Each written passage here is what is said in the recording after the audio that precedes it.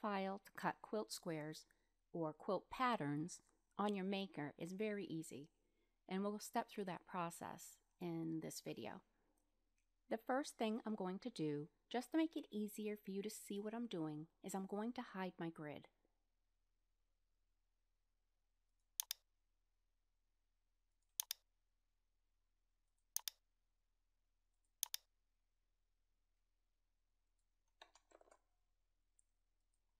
Let's go over the process so that you'll understand what I'm doing as I'm going through the steps.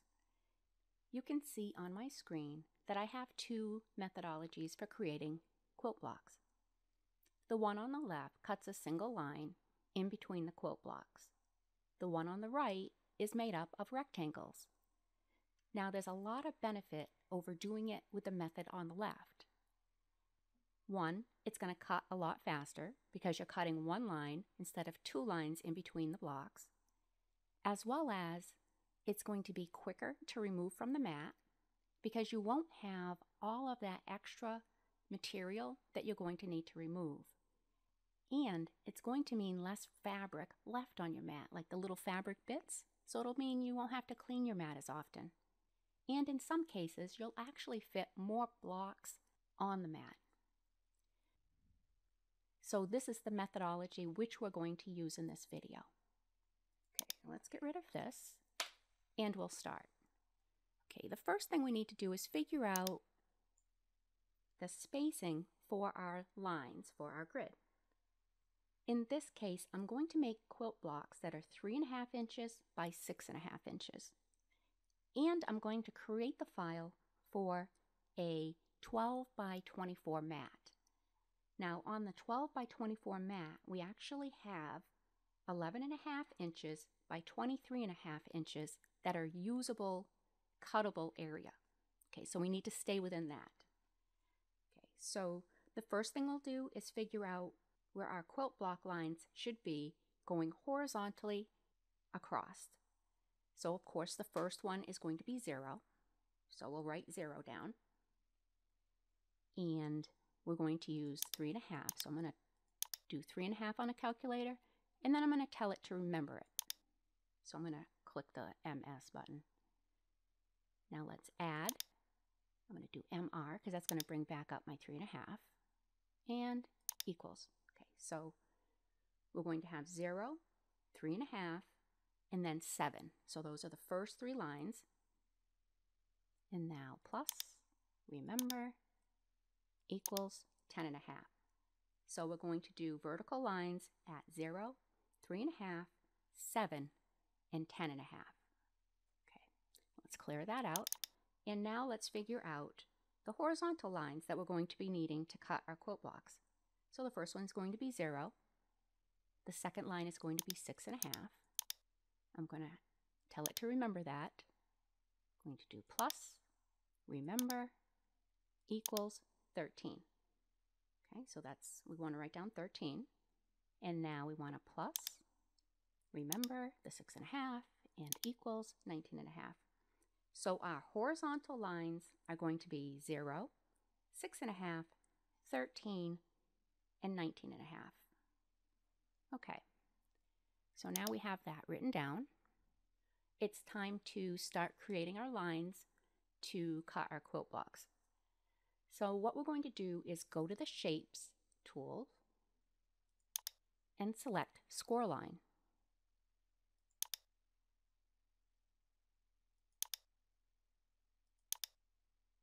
Change the line type from Score to Cut.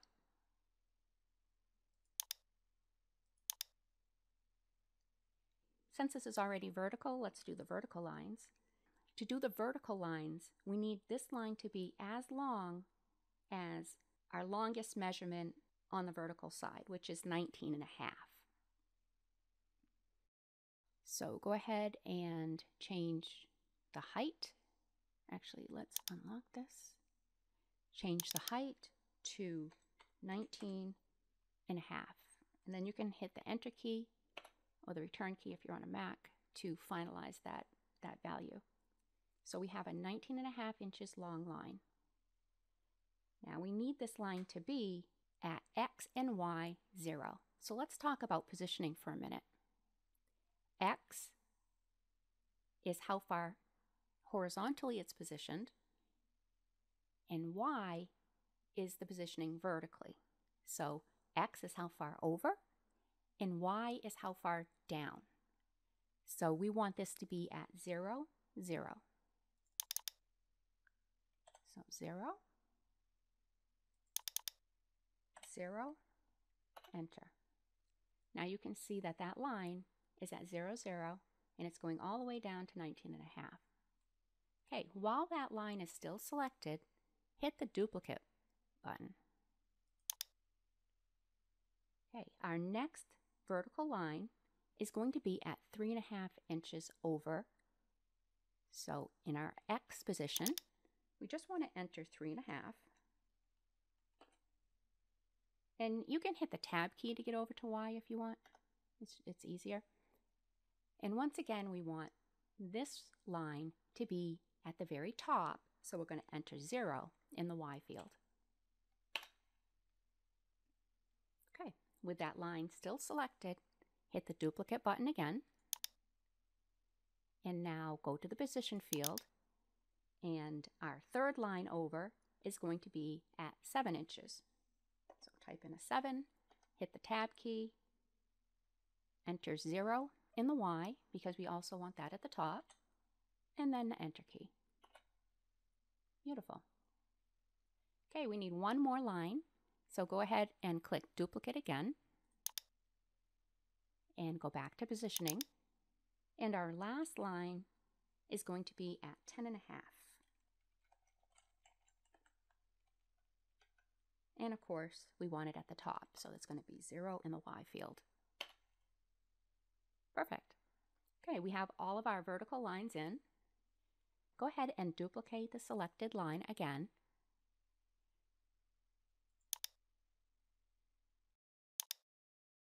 Okay, we want to rotate this 90 degrees, and you can either click and drag and hold down the shift key to make it snap, or you can simply go up to the rotate field and enter 90.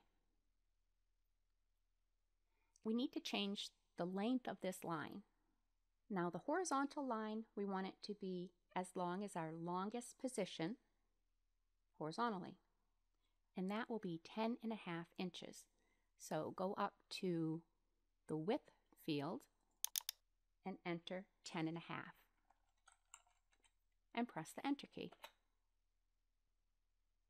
Okay, we want this line to be positioned at 0, 0, so at the very top and all the way to the left. So go ahead and enter the X position as 0, hit the Tab key to get over to the Y field, and enter 0 again.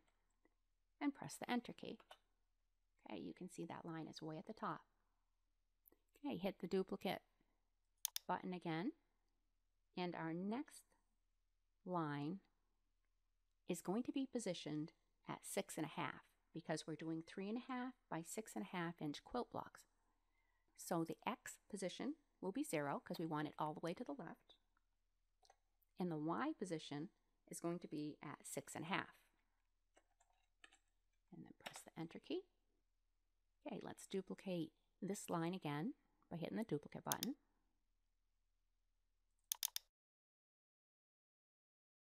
This line we want to position at 13 inches down all the way to the left. So we're going to enter 0 in the X position and 13 in the Y position. Okay, duplicate it one more time. And once again, 0 in the X. And the final line is going to be positioned at 19 and a half inches down. So we're going to set the Y value to 19 and a half. And press the Enter key. Okay, we have all of our lines now for our quilt blocks. The next thing that we need to do to make sure that they all stay together is to select all of the lines so go up here and click select all. And we want to attach them. So click the attach button.